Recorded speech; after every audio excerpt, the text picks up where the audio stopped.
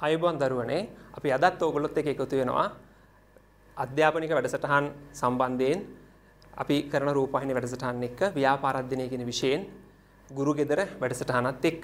ඉතින් පුතේ අපි අද කතා කරන්න බලාපොරොත්තු වෙන්නේ ව්‍යාපාරාධ්‍යනයේ විෂයේ තුන්වෙනි නිපුණතාවය අපේ දරුවෝ දන්නවා රජය හා ව්‍යාපාර.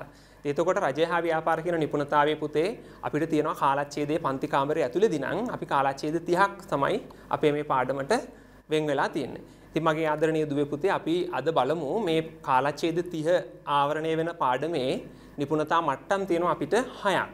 ඉතින් මේ නිපුණතා මට්ටම් හයම දීර්ඝව සාකච්ඡා නොකරත් ඔයාට විභාගයේදී අත්‍යවශ්‍යම වෙන. එහෙම නැත්නම් අපි මතක තියාගන්න ඕන වැදගත්ම සිද්ධාන්ත කරුණු ප්‍රායෝගික දේවලුත් එක්ක කොහොමද අලුත් පේපර් එකත් එක්ක සම්බන්ධ කරගන්නේ කියන එක සම්බන්ධයෙන් ඕගොල්ලන්ට උපකාරයක් වෙන විදිහට පාඩම සාකච්ඡා කරගෙන යන්න අපි බලාපොරොත්තු වෙනවා. ඒ වගේම මම ආදරණීය දරුවන්ගෙන් ඉල්ලීමක් කරනවා මේ සාකච්ඡා කරන කරුණවල ඔයාට වැදගත් දේවල් මොනවා හරි ලියන්න තිබුණොත් පොඩි කොලයක් පොතක් අරගෙන අපි දන්නවා දරුවෝ දැන් දැනටමත් ඒ වගේ වැඩසටහන් මේව නරඹලා අවශ්‍ය දේවල් සටහන් කරගන්නවා ඇති. පොඩ්ඩක් ඒකත් සටහන් කරගන්න අපි සාකච්ඡා කරනකොට ඔයාලට වැදගත් දේවල් ටිකක් කියවනවා. ඉතින් අපි යමු පාඩමට පුතේ. පළවෙනි පාඩමේ නිපුණතා මට්ටම තියෙන රජයේ සමග සම්බන්ධතා පවත්වා ගනිමින් ව්‍යාපාර කරගෙන යාමේ අවශ්‍යතාවය තහවුරු කරයි. ඉතින් එතකොට අපි බලමු ඒකේ පළවෙනි නිපුණතා මට්ටම තමයි රජය ව්‍යාපාරවලට මැදිහත් වන ආකාරය. ව්‍යාපාර කෙරෙහි රජයේ බලපෑම සිදුවන ආකාරය. ඉතින් මම පොඩ්ඩක් කැමති පුතේ ඊට කලින් දැන් අපි මේ කතා කරන රජයත් ව්‍යාපාරත් අතර තියෙන සම්බන්ධතාවයනේ. එතකොට අපි සම්බන්ධතාවයක් ඇති කරගන්නවා කියලා කියන්නේ අනිවාර්යයෙන්ම පාර්ශව දෙකක් ඉන්න ඕනේ. එතකොට ඒ සම්බන්ධතාවය දීර්ඝකාලීනව පවත්වාගෙන යන්න නම් ඒ පාර්ශවයන් දෙක අතර හොඳ අවබෝධයක් තියෙන්න ඕනේ. එහෙම අවබෝධයක් තියෙන නම් පුතේ අපි ඒ ඒ පාර්ශවයන් දෙක දැන් උදාහරණයක් විදිහට ගමුකෝ අපි ගුරුවරු විදිහට සහ ඔයාලා දරුවෝ විදිහට. එතකොට ගුරුවරු විදිහට අපි ඔයාලට දෙන දේවල් ටිකක් තියෙනවා. ඒ වගේම දරුවෝ විදිහට ඕගොල්ලන්ගෙන් අපි බලාපොරොත්තු වෙන දේවල් ටිකකුත් තියෙනවා. ඒ වගේම ඔයාලා අපි දෙන දේවල් ටික ගන්න ඕගොල්ලන්ගෙනුත් අපිට වෙන්න ඕන දේවල් ටිකක් තියෙනවා. මම තව ටිකක් සරලව පැහැදිලි කරොත් අපි નિયમિત විෂය නිර්දේශය අදාළ කාලච්ඡේදවලට අදාළව හරියට අවසන් කරලා තියෙන්න ඕනේ. විෂය කරුණුත් එක්ක නේද? ඕගොල්ලන්ට ප්‍රශ්න වලට උත්තර ලියන විදිය, සිද්ධාන්ත කියලා දෙනවා වගේ මේ ටික අපි කියලා දෙන්න ඕනේ. ඒ වගේම අපි ඔයාලගෙන් බලාපොරොත්තු වෙනවා අපි කියලා දෙන දේවල් ටික හොඳට අවධාරණය කරගෙන ප්‍රශ්න වලට උත්තර ලියලා පිළිතුරු ලියලා ගැටලු තියෙනවා නම් ඒව මොනවා හරි අහගෙන හැමදාම පාසල් පැමිණිලා නේද? ආන්න ඒ වගේ මේ පාර්ශව දෙකේම විවිධ අරමුණු තියෙනවා. අන්නේ අරමුණු ඉටු කරගන්න තමයි මේ දෙගොල්ලොන් අතර සම්බන්ධතාවයක් තියාගන්නේ. එහෙනම් මගේ දුවේ පුතේ මේ රජයත් ව්‍යාපාරත් කියන පාර්ශව දෙක ගත්තාම රජයේ තියෙන ඉටු කරගන්න බලාපොරොත්තු වෙන විවිධ අරමුණු. ව්‍යාපාරවලත් තියෙනවා ඒ වගේම ඉටු කරගන්න බලාපොරොත්තු වෙන විවිධ අරමුණු. ඒතර මේ පාර්ශව දෙක මේ අරමුණු ඉටු කර ගැනීම සඳහා දෙගොල්ලන්ගේ සහයෝගය බලාපොරොත්තු වෙනවා. ඒ සහයෝගය කොහොමද ලැබෙන්නේ? ඒකෙදි මේ අරමුණු ඉටු කරගන්න මේගොල්ලොන් කොහොමද කටයුතු කරන්නේ? ඒවා රජයට සහ විශේෂයෙන් ව්‍යාපාරවලට කොහොමද බලපාන්නේ කියන එක තමයි අපි මේ පාඩමේදී සාකච්ඡා කරන්නේ. එතකොට රජය කියන එක ගත්තාම පුතේ දැන් අපි සාමාන්‍යයෙන් දන්න දේ තමයි අපි රජය කියලා කියන්නේ මධ්‍යම රජයට නේද අපි කියන්නේ ආණ්ඩුව කියලා කියන්නේ නේද? එතකොට මධ්‍යම රජය. හැබැයි අපේ රටේ දේශපාලන ව්‍යුහයත් එක්ක ගත්තම අපේ රාජ්‍ය පරිපාලන තන්ත්‍රය කොටස් තුනකට බෙදිලා තියෙනවා. එතකොට එකක් තමයි මේ ඕගලන්ට පැහැදිලිව පේනවා මධ්‍යම රජයේ තියෙනවා. ඊට පස්සේ පළාත් සභා තියෙනවා. ඒ වගේම පළාත් පාලන ආයතන තියෙනවා. ප්‍රාදේශීය සභා වෙන්න පුළුවන්, නගර සභා වෙන්න පුළුවන්, මහනගර සභා වෙන්න පුළුවන්. ඔන්න ඔය කොටස් තුන යටතේ තමයි බලපෑම් ඇති වෙන්නේ. දැන් අපි මේ දවස්වල ගමුකෝ උදාහරණයක් විදිහට දැන් මේ තියෙන රටේ තියෙන වර්තමාන තත්ත්වයක් එක්ක ඊට අදාළ නීති රීති සහ ප්‍රතිපත්ති සකස් කරන එක මධ්‍යම රජයෙන් කරන්නේ. එතකොට දැන් සමහර පළාත් වශයෙන් ගත්තහම අපි දන්නවා දැන් මේ දවස්වල කොළඹ ප්‍රදේශයේ සමහර ප්‍රදේශවලට සීමා කිරීම කළ තියෙනවා සංචරණ සීමා පනවලා තියෙනවා. ඒතර බස්නාහිර පළාතෙන් වෙනත් පළාත් වලට පිට වෙන එක නතර කරලා තියෙනවා. ඒතර ඒ සම්බන්ධ තීරණ තීන්දුව ගන්නේ මෙන්න මේ පළාත් සභාවලින්. ඊට පස්සේ පුතේ අපි දන්නවා විස බීජ හරණය කරන්න වෙනවා. රාජ්‍ය ආයතන, පෞද්ගලික ආයතන සහ පොදු ස්ථාන. ඒ පොදු ස්ථාන රාජ්‍ය ආයතන වගේ දේවල් විස බීජ හරණය කරන එක අපි දැකලා තියෙනවා පුතේ බොහෝ වෙලාවට පෞද්ගලික ආයතනත් උදව් කරන වෙලාවල් තියෙනවා. නමුත් ප්‍රාදේශීය ලේකම් කොට්ටාස මට්ටමින් ප්‍රාදේශීය ලේකම් කාර්යාල වලින් තමයි ඒ කටයුතු සිද්ධ වෙන්නේ. එහෙනම් මම ඔය ව්‍යාපාරවලට සම්බන්ධ නැති වුණත් මේ අපි ප්‍රායෝගිකව දකින දේවල් එක්ක මෙන්න මේ කොටස් තුනෙන් කොහොමද බලපෑම් එන්නේ කියන එක ඔයාලට පැහැදිලි කරේ. හොඳ එහෙනම් අපිට පේනවා පුතේ රජය ව්‍යාපාරවලට මැදිහත් වෙන ආකාරය ගැන තමයි අපි කතා කරන්න බලාපොරොත්තු වෙන්නේ. අපි බලමු කොහොමද රජය ව්‍යාපාරවලට මැදිහත් වීම කරන්නේ කියලා. අපිට පේනවා පළවෙනියටම ව්‍යාපාරයක් රජයට බලපෑම් කරන ආකාරය ඕගලන්ට තිරේ දිස්සුණා තරගකරුවෙකු ලෙස කියලා. කොහොමද තරගකරුවෙක් විදියට ව්‍යාපාරයකට රජය බලපෑම් කරන්නේ? එතකොට තරගකරුවෙක් විදියට අපි උදාහරණයක් ගත්තොත් දැන් අපේ රටේ වාණිජ බැංකු තියෙනවා. අපි දරුවෝ දන්නවා වාණිජ බැංකු මේ වෙනකොට රටේ ලංකාවේ වාණිජ බැංකු 24ක් තියෙනවා. ওই 24 ඇතුලේ පෞද්ගලික වාණිජ බැංකුත් එක්ක රාජ්‍ය වාණිජ බැංකුත් තියෙනවා. එතකොට දුවේ පුතේ මූල්‍ය සේවා සැපයීම සම්බන්ධයෙන් පෞද්ගලික අංශයේ බැංකු පවත්වාගෙන යන ව්‍යාපාරවලට තරගකාරීත්වයක් ලබා දෙනවා අපේ රාජ්‍ය බැංකු වලින්. ඒ වගේම මේ දවස්වල වැඩිපුරම කතා බහට ලක් වෙනවා අපේ ප්‍රවාහන සේවය. ඒතර ප්‍රවාහන සේවය ගත්තාම අපේ දරුවෝ දූල පුතාලා දන්නවා පෞද්ගලික අංශයේ ප්‍රවාහන සේවාවක් තියෙනවා. ඒ වගේම රාජ්‍ය අංශයේවත් තියෙනවා. දැන් බලපෑම ඇති වෙන්නේ මෙහෙමයි පුතේ. අපි දැකලා තියෙනවානේ සමහර කාලවලට කියනවා පෞද්ගලික බස් රථ හිමියන්ගේ සංගමේ නේද අපි අද මධ්‍යම රාත්‍රියේ සිට අකණ්ඩ වැඩ වර්ජනයකට යනවා කියලා. එතකොට රටේ ජනතාවගේ ප්‍රවාහනය කියන අවශ්‍යතාවයට යම් බලපෑමක් එනවා. නමුත් රාජ්‍යංශයේ ව්‍යාපාරයක් තියෙන නිසා රාජ්‍යංශයෙන් පවත්වාගෙන යන ලංගම බස් රථ සේවාව නිසා අන්න රාජ්‍යංශයේ ව්‍යාපාරය පෞද්ගලික අංශයට බලපෑමක් කරා තරගකරුවෙක් විදියට. එනම් පුතේ රාජ්‍යංශයේ ව්‍යාපාර වැඩිදුරටත් පවත්වාගෙන යාම මගින් අර පෞද්ගලික අංශයේ ව්‍යාපාර පාලනය කිරීම සඳහා රාජ්‍යංශය ලොකු මැදිහත් වීමක් කරනවා. ඒ විදිහට තමයි පුතේ තරගකරුවෙක් විදියට බලපෑම් කරන්නේ. අපි බලමු ඊළඟට තියෙනවා ගනුදෙනුකරුවෙක් විදියට. දැන් ගනුදෙනුකරුවෙක් විදිහට කොහොමද බලපෑම් කරන්නේ? අපි දන්නවා ගනුදෙනුකරුවෙක් කියන්නේ භාණ්ඩ හා සේවා මිලදී ගැනීම හෝ විකිණීම එක්ක සම්බන්ධ වෙන පාර්ශවයනේ. ඒතර රජයට අවශ්‍ය වෙනවා විවිධ භාණ්ඩ හා සේවා මිලදී ගැනීම සඳහා. එතකොට මේ භාණ්ඩ හා සේවා මිලදී ගැනීමට රජය පෞද්ගලික අංශයේ සහයෝගය ගන්නවා. දැන් අපි මේ රටේ වර්තමානයේ පවතින තත්ත්වය ගැන කතා කරොත් මේ සෞඛ්‍ය පහසුකම් වලට අවශ්‍ය සෞඛ්‍ය උපකරණ ඊට පස්සේ මුව ආවරණ ඒ වගේ දේවල් මිලදී ගැනීම සඳහා රජය පෞද්ගලික අංශයේ ව්‍යාපාරත් එක්ක යම් යම් ගිවිසුම් ඇති කරගන්නවා. ඒ වගේ තමයි අපේ දූල පුතාලගේ පාසල් ඉදිකිරීම කරනකොට අපි ඉදිකිරීම කරන්නේ රජයෙන්. එතකොට ඒ ඉදිකිරීම වලට අවශ්‍ය අමුද්‍රව්‍ය මිලදී ගැනීම සඳහා පෞද්ගලික අංශයේ ව්‍යාපාරත් එක්ක රජය සම්බන්ධතා පවත්වනවා බලපෑම් කරනවා. එතකොට පෞද්ගලිකංශයේ ව්‍යාපාර හොඳ සේවයක් සැපෙව්වොත් තමයි රාජ්‍යංශයෙන් ඒ වගේ ව්යාපාරවලට ප්‍රමුඛතාවයක් දෙන්නේ. අපි බලමු තව එකක් නීති රීති පැනවීම මගින්. එතකොට විවිධ නීති රීති අපි දන්නවා පනවලා තියෙනවා අපේ ආණ්ඩු ක්‍රම ව්‍යවස්ථාව පොදු නීතිය විදිහට ගත්තාම ඊට අමතරව ව්‍යාපාර කටයුතු වෙනුවෙන් විවිධ අනපනත් සම්මත කරලා තියෙනවා. දැන් අපි පාරිභෝගිකයන්ට ව්‍යාපාරිකයන්ට දෙගොල්ලන්ටම වැදගත් වෙන පනතක් විදිහට ගත්තොත් පාරිභෝගික අධිකාරිය පනත අන්න ඒ වගේ ඊට පස්සේ තව තියෙනවා ප්‍රමිති ආයතන පනත ඒ වගේ ව්‍යාපාරවලට අවශ්‍ය නීති රීති රජය විසින් පනවනවා. ඒතර අපේ අපි දන්නවා අපි දැකලා තියෙනවා පාර්ලිමේන්තුවෙන් තමයි අපේ රටේ නීති රීති හදන්නේ. මගේ දූල පුතාලා දන්නවා ඒවා පොඩි පන්තිවල දිගටගෙන ඇති ව්‍යවස්ථාදායකය කියලා නේද? අපි පත් කළ යවන නියෝජිතයෝ තමයි අපිට නීති රීති ටික හදලා දෙන්නේ. ඒ හදන නීති රීති වලින් ව්‍යාපාරවලට අදාළව යම් යම් නීති රීති තියෙනවා පොදුවේ. ඒ වගේම ජනතාව වශයෙන් රටක් වශයෙන් අපිට පොදුවේ බලපාන නීති රීතිත් තියෙනවා. ඒතර ඔන්න ඔය කියන කරුණු දෙක මගින්ම නීති රීති වලින් බලපෑම් කරනවා රජය ව්‍යාපාරවලට. එන අපි දැන් ආකාර තුනක් සාකච්ඡා කරා. ඊළඟට තියෙනවා යටිදල පහසුකම් සපයන්නකු ලෙස. එහෙනම් යටිදල පහසුකම් සපයන්නකු කියන්නේ ව්‍යාපාර කටයුතු පවත්වාගෙන යන්න විවිධ යටිතල පහසුකම් අවශ්‍ය වෙනවා. මහා මාර්ග වෙන්න පුළුවන්, විදුලිය වෙන්න පුළුවන්, එහෙම නැත්නම් ජල සැපයුම වෙන්න පුළුවන්. ඒ වගේ ගොඩාක් පහසුකම් අවශ්‍ය වෙනවා අපේ ව්‍යාපාර පවත්වාගෙන යන. දැන් උදාහරණයක් විදිහට ගත්තාම වර්තමානයේ අපේ රටේ අධිවේගී මාර්ග පද්ධතිය ඊටාම හොඳින් පවත්වාගෙන යනවා. ඒතර ඒ තුලින් අපි බලන්න ඕනේ අපිට දැන් කොළඹ නගරයේ ඉඳලා අපි හිතුවොත් හම්බන්තොටට යන්න නේද? පළාත් දෙකක් කෙලවරවල් දෙකක් ඒ දෙකට යන්න ඉතාම සීමිත කාලයක් තමයි වැය වෙන්නේ අධිවේගී මාර්ග ඉදි කරාම. ඒතර ඔය එක උදාහරණයක් මම කිව්වේ යටිතල පහසුකම් විදිහට. එහෙනම් අන්නේ යටිතල පහසුකම් සැපයීම මගින් රජයේ ව්යාපාරවලට බලපෑම් කරනවා. හැබැයි මගේ දුවේ පුතේ මේ බලපෑම අඩු වැඩි වෙන්න පුළුවන්. නේද? යටිතල පහසුකම් සපයන එක වැඩි කරොත් රජයේ ව්‍යාපාරවලට වාසිදායකයි. යටිතල පහසුකම් සැපයීම රජයේ අරමුදල් ඌනතාවයක් නැත්නම් එහෙම ගැටලුවක් නිසා ඒ යටිතල පහසුකම් සපයන එක සීමා කරොත් අඩු කරොත් ඒවා ව්‍යාපාරවලට අවාසිදායක ලෙස බලපාන්න පුළුවන්.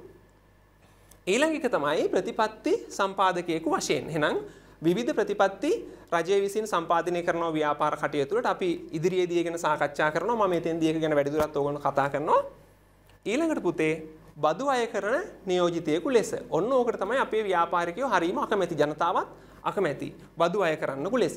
ඒතර අපේ දූල පුතාලා දන්නවා මේ බදු අය කරන්නේ රජය රජයේ අවශ්‍ය වියදම් පියවා ගැනීම සඳහා නේද රජයට අවශ්‍ය වියදම් පියවා ගැනීම සඳහා තමයි බදු අය කරන්නේ. එතකොට ආදායම වැඩි අයගෙන් බදු ටිකක් වැඩිපුර ගන්න පුළුවන් නේද? නැත්තම් අපි රටේ තියෙන පොදු සේවා පරිභෝජනය කරන පාරිභෝගිකයෝ විදියට අපිනුත් පොඩි බද්දක් ගන්න පුළුවන් එකතු කළාගේ මත බදු වගේ දේවල් වලින් පුංචි බද්දක් ගන්න පුළුවන්. නමුත් අපි පාරිභෝගිකයෝ විදියට සහ ව්‍යාපාරිකයෝ විදියට අපේ යුතුයකමක් ඒ බදු ගෙවන එක. එතකොට බලපෑම වෙන්නේ මගේ පුතේ මෙන්න මේ බදු අය කරන එක අඩු වැඩි කිරීම මගින් නේද? බදු වැඩි කරොත් ව්‍යාපාරවලට අවාසිදායකයි. මේ බදු අඩු කරොත් පහත හෙළුවොත් නැත්නම් තියෙන බද්දක් අයින් කරොත් ආන්න ඒක ව්‍යාපාරවලට වාසිදායකයි. ඔන්න ඔය විදිහට තමයි බලපෑම් කරන්නේ රජයේ ව්‍යාපාරවලට මැදිහත් වෙලා. එහෙනම් පුතේ අපි බලමු ඊළඟට කොහොමද මේ රජයේ හා ව්‍යාපාරවල අරමුණු ක්‍රියාත්මක වෙන්නේ කියලා. දැන් ඔන්න මම රජයේ කියන එක සංකේතවත් වෙන්න අපේ පාර්ලිමේන්තුවේ නීති රීති හදන්නේ. ඔන්න ඒකේ පින්තූරයක් තියෙනවා. එතකොට දැන් අපේ දූල පුතාලා එක එක ව්‍යාපාරවලටනේ කැමති. ඒ නිසා මම මට කැමති ව්‍යාපාරයක් දැම්මේ නැහැ. ඔයාලට මෙතනින් මේ මෙතෙන්ට කැමති ව්‍යාපාරයක් දාගන්න, මෙතෙන්ටත් කැමති ව්‍යාපාරයක් දාගන්න. ඔයාලා එහෙම එකක් තියෙනවා කියලා හිතාගන්න. මේ තියෙන ව්‍යාපාර දෙක මොනවා හරියද? අපි මේක X කියලා හිතමු, මේක Y කියලා හිතමු.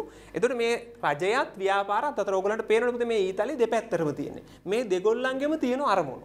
ඒ දෙගොල්ලන්ගේම අරමුණු එක්ක සම්බන්ධ වුණොත් තමයි මේ අරමුණු දෙගොල්ලන්ගේ මේවා ඉටු වෙනකොට තමයි අපිට මේ සම්බන්ධතාවය ඊටාම හොඳින් පාත්වාගෙන යන්න පුළුවන් වෙන්නේ.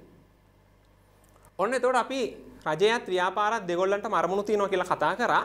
ඔන්න තියෙනවා රජය බලාපොරොත්තු වෙන අරමුණු. රජය ඉටු කරගන්න බලාපොරොත්තු වෙන අරමුණු. ඒතර පළවෙනි එක තමයි ආර්ථික වර්ධනය හා සංවර්ධනය. අපේ දූල පුතාලා දන්නවා ආර්ථික වර්ධනය කියන්නේ මොකක්ද කියලා නේද? රටේ මූර්ත ජාතික නිෂ්පාදිතය අඛණ්ඩ විහල යනවා නම් නේද? වටිනාකම නෙමෙයි නිෂ්පාදනය කරන භාණ්ඩ හා සේවා ප්‍රමාණය අඛණ්ඩ විහල යනවා නම් ඔන්න ආර්ථික වර්ධනය. එතකොට ඒ වර්ධනයෙන් ලැබෙන ප්‍රතිලාභ රටේ සියලු ජන කොටස් අතර සාධාරණව බෙදා හරිනකොට ආර්ථිකයේ සංවර්ධනයක් ඇති වෙනවා. අපේ දූල පුතාලා මේ ගැන වැඩිදුර කතා කරා අපේ දෙවැනි නිපුණතාවයේදී නේද? තිරසාර සංවර්ධනය කියන එකේදී වැඩිදුරටත් ඔය ගැන කතා කරන්න ඇති. එතකොට මෙන්න මේ ආර්ථික වර්ධනය හා සංවර්ධනය කියන එක තමයි රජයක් අපේක්ෂා කරන ප්‍රධානම අරමුණක්. දැන් පුතේ මේ අරමුණත් එක්ක ව්‍යාපාර සම්බන්ධ වෙන්නේ කොහොමද කියන එක පොඩ්ඩක් අපි බැලුවොත් ආර්ථිකයේ වර්ධනය වෙන එක වර්ධනය කරගන්න එක රජයේ අරමුණ වුණාට ඒකට දායකත්වයේ සපයන භාණ්ඩ හා සේවා නිෂ්පාදනය කරන්න පෞද්ගලික අංශය ලොකු කැපකිරීමක් කරන්න වෙනවා. එහෙනම් පෞද්ගලික අංශ රාජ්‍ය අංශයේ ව්‍යාපාරක් තියෙනවා. නමුත් පෞද්ගලික අංශයේ ව්‍යාපාර වලින් බිහි වෙන භාණ්ඩ හා සේවා තුලින් තමයි අර මූර්ත ජාතික නිෂ්පාදිතය ඉහළ යන්නේ. එහෙනම් ඔන්න පළවෙනි අරමුණ ඉටු කරගන්නවා ඒකට ව්‍යාපාර දායක වුණා. ඊළඟට පුතේ තව අරමුණක් තමයි පූර්ණ සේවා නියුක්තිය. ඒත් සාමාන්‍යයෙන් අපේ ආර්ථික විද්‍යාව ඉගෙන ගන්න දරුවෝ නම් පූර්ණ සේවා නියුක්තිය කියන එක කතා කරන්නේ රටේ තියෙන සියලුම නිෂ්පාදන සාධක පූර්ණ වශයෙන් ඵලදායීව නිෂ්පාදන ක්‍රියාවලියට යොදා ගන්නවා කියලා. අපි නිකන් සරලව ගත්තොත් සේවා නියුක්තිය කියන එක රටේ ඉන්න හැම කෙනෙකුටම රැකියා අවස්ථා ලබා දෙන එක කියන අදහසින් ගත්තොත් එතකොට ව්‍යාපාර පවත්වාගෙන යනකොට අන්නේ ව්‍යාපාර වලින් මිනිස්සුන්ට රැකිය අවස්ථා ලබා දෙනවා නේද? එතකොට සේවා නියුක්තිය කෙනෙක් ඉහළ නංවා ගැනීම සඳහා රජයට සහයෝගය දක්වනවා ව්‍යාපාර. ඊළඟ තමයි පුතේ සාධාරණ ආදායම් ව්‍යාප්තිය. ඔය සාධාරණ ආදායම් ව්‍යාප්තිය කියලා කියන්නේ රටේ ලැබෙන ජනතාවට ලැබෙන නැත්නම් රටේ ආර්ථිකයට ලැබෙන මුළු ආදායම ඉන්න හැම ජන කොටසක් අතරම සමානව බෙදිලා යන්න ඕන. ඒකට තමයි පුතේ අපේ රජය වැඩිපුර තියෙන අයගෙන් බදු අය කරනවා නේද? වැඩිපුර තියෙන අයගෙන් බදු අය කරලා උදව් ඕනේ අයට සහන ආධාර දෙනවා. ඒ වගේම තමයි ආදායම් නැති නැත්නම් ආදායම් අඩු පාර්ශවයන්ට විවිධ ක්‍රමවලින් ඒගොල්ලන්ගේ ජීවනෝපාය සාර්ථක කර ගැනීම සඳහා විවිධ ප්‍රතිපාදන සමෘද්ධිය වගේ විවිධ වැඩසටහන් වලින් එක එක කාලවලට එක එක ව්‍යාපෘති එනවා. එහෙම සහයෝගයක් රජයෙන් ලබා දෙනවා. ඒතර ඒ තමයි සාධාරණ ආදායම් ව්‍යාප්තිය. එතකොට ඒකට ව්‍යාපාර කොහොමද දායක වෙන්නේ? රජය බදු අය කරගෙන තමයි සහන ආධාර දෙන්න ඕනේ. එහෙනම් નિયમિત පරිදි බදු ටික ගෙවන්න ඕනේ. ඒ වගේම සහන ආධාරයක් නැත්නම් බදු අවම කිරීමක් බදු පහසුකමක් මොන හරි දීලා තියෙනවා නම් ඒකේ ප්‍රයෝජන ටික අරගෙන ඒ ප්‍රයෝජන වලින් හොඳ නිෂ්පාදිතයක් හොඳ ව්‍යාපාරයක් රටේ ආර්ථිකයට දෙන්න ඕනේ. ඒතර පුතේ ඊළඟ එක තියෙනවා ආර්ථික ස්ථායීතාවය. දැන් මේ වගේ කාලයකදී නම් අපිට ඕනෑම රටක ආර්ථික ස්ථායීතාවය ගැන ධනාත්මක නැත්නම් යහපත් විදිහට හිතන්න කතා කරන්න අමාරුයි. මොකද ලෝකයේ ගොඩාක් රටවල් මේ තියෙන උදුරත් එක්ක බොහොම ආර්ථික මට්ටමින් අපහසුතාවයට පත් වෙලා තියෙනවා. ඒතර ඒක අභ්‍යන්තර මිල ස්ථායීතාවය සහ බාහිර මිල ස්ථායීතාවය කියලා කතා කරනවා. රට තුල ආර්ථිකය නැත්තම් මිල මට්ටම ස්ථාවරව පවත්වා ගන්න ඕනේ. ඒ වගේම ජාත්‍යන්තර වශයෙන් අන්තර්ජාතික ගනුදෙනු වලදීත් වෙනත් රටක් එක්ක ගනුදෙනු කරනකොට රට ආර්ථිකමය වශයෙන් රටේ තියෙන්න ඕන ස්ථායීතාවය. අපි මේවා ආර්ථික විද්‍යාවේදී විස්තරාත්මකව කතා කරා අපේ දුවල පුතාලට. අපි යමු ඊළඟ අරමුණට යහපත් අන්තර්ජාතික වෙළඳාම නේද? අපි අපේ රටේ තියෙන දේවල් වැඩිපුර නිෂ්පාදනය කරලා අපිට පුළුවන් වෙන රටකට යවන්න. අපි දැන් අපේ තේ නිෂ්පාදනයේදී ලැබෙන පළදාව අරගෙන ඒ තේ ටික අපි වෙන රටකට යවනවා. එතකොට අපේ රටේ නැති ඒවා හරි එහෙම නැත්නම් අපේ රටේ තිබුණත් ඊට වඩා අඩු පිරිවැයකින් ගෙන්නන්න පුළුවන් ඒවා තියෙනවා නම් නිෂ්පාදිත අපි මොකද කරන්නේ? ඒවා වෙනත් රටවල් වලින් ගෙන්න ගන්න ඕනේ. එහෙනම් මෙන්න මේ යහපත් අන්තර්ජාතික වෙළඳාමක් පවත්වාගෙන යාම. ඒ කියන්නේ ආනයන අපනයන කටයුතු අපේ රටෙන් භාණ්ඩ වෙන රටකට යවන එකත් වෙන රටක තියෙන භාණ්ඩ අපේ රටට ගෙන්නන එකත් කියන දෙක හොඳ මට්ටමක පවත්වාගෙන යන්න ඕනේ. ඉතින් කනගාටුයි අපේ රටේ නම් ඔය අන්තර්ජාතික වෙළඳාමේදී අපි අපි හදලා යවලා ගන්න ආදායමට වඩා අපිට නැති දේවල් ගන්න අපි කරන වියදම වැඩි. ඒ නිසා අපේ රටේ වෙළඳ ශේෂය මේ දානයන අපනයන අතර වෙනස හැමදාම තියෙන්නේ ඍණාගයක්. අපි ප්‍රාර්ථනා කරනවා ඕගොල්ලෝ වගේ දරුවෝවත් කවදා හරි දවසක ඇවිල්ලා අපේ රටේ නිෂ්පාදනය හොඳ තැනකට අරගනී කියලා. අපි යන් ඊළඟ කොටසට. දැන් ඔන්න අර රජයේ අරමුණු තිබුණා. ඒ අරමුණු ඉටු කර ගැනීම සඳහා කොහොමද ව්‍යාපාර දායක වෙන්නේ කියන එක නැවත මෙතන පැහැදිලි කරලා තියෙනවා. මම අපේ දූල පුතාලට පැහැදිලි වෙන්න ඕන නිසා මම කලින් අරමුණුත් එක්ක මේ ටික පොඩ්ඩක් පැහැදිලි කරා. එතකොට බදු ගෙවීම මගින්, දේශීය සම්පත් භාවිතා කිරීම මගින්, රජය පනවන ප්‍රතිපත්ති නීති රීති යනාදිය පිළිපැදීම මගින් ව්‍යාපාර වලට පුළුවන් රජයට ඒ අරමුණු ඉටු කරගන්න දායක හොඳ දායකත්වයක් දෙන්න. ඒ වගේම සේවා නියුක්තියට දායක වීම, පරිසරයට වන හානි අවම කිරීම මෙන්න මේ කියන කාරණාවලින් රජයේ අරමුණු ඉටු කර ගැනීමට ව්‍යාපාරවලට දායකත්වය සපයන්න පුළුවන්.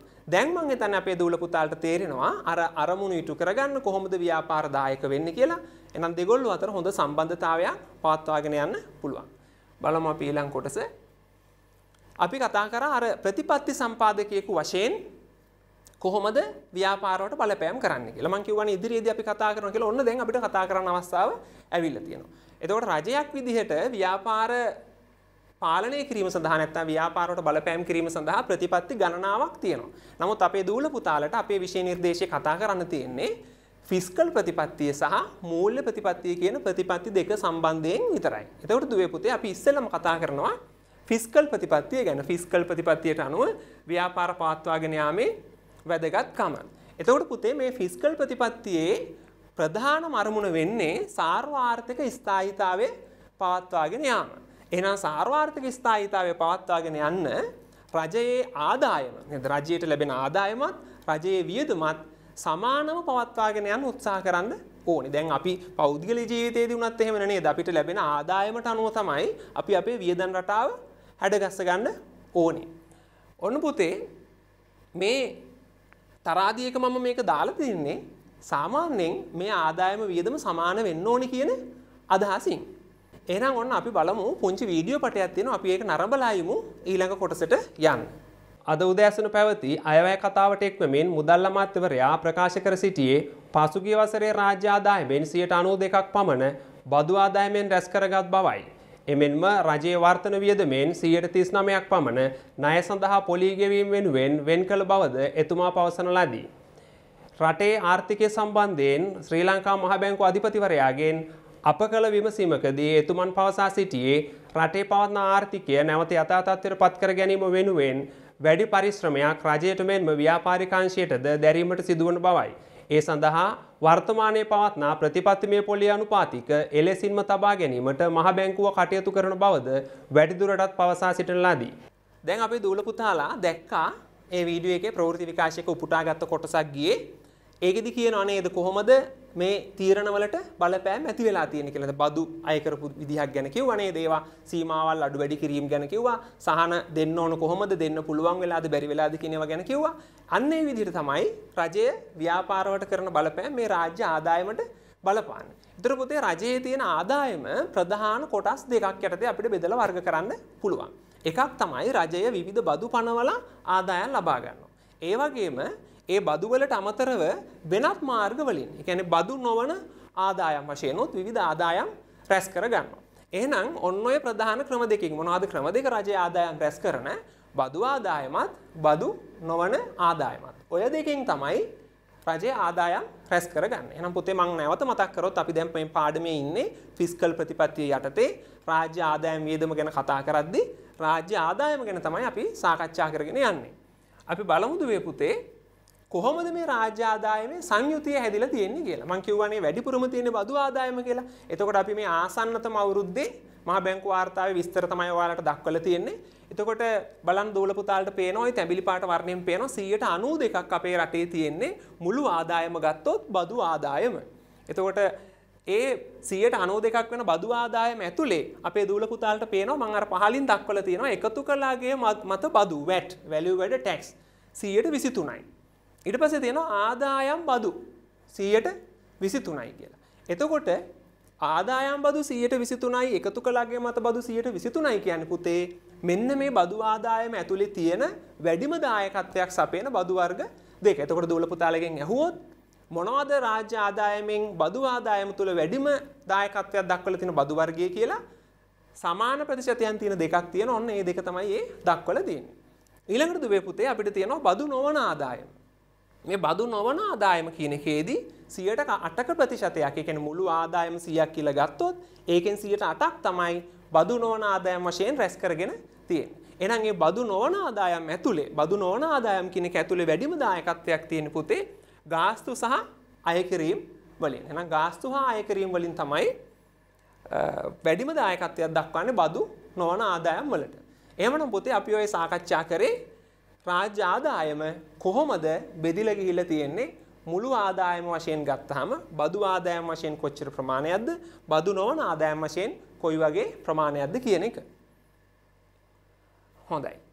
ඔන්න තවදුරටත් ඔයාලට පැහැදිලි කරන්න පුළුවන් අපි මේ බදු වර්ග කරනකොට පුතේ අපි ගන්න ප්‍රධාන වර්ගීකරණයක් තමයි බදු වර්ග කරන පදනමක් තමයි ඍජු බදු සහ වක්‍ර බදු කියලා. එහෙනම් ඍජු බදු කියලා කියන්නේ මොනවද වක්‍ර බදු කියන්නේ මොනවද කියන එකට උදාහරණ තියෙනවා.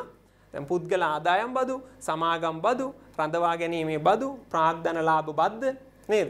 ඒවා ගත්තාම ඔන්නවා ඍජු බදු. ඊට පස්සේ තියෙනවා වක්‍ර බදු කියලා. වක්‍ර බදු යටතට වැටෙන ඒවා උදාහරණ කීපයක් මම දක්වලා තියෙනවා.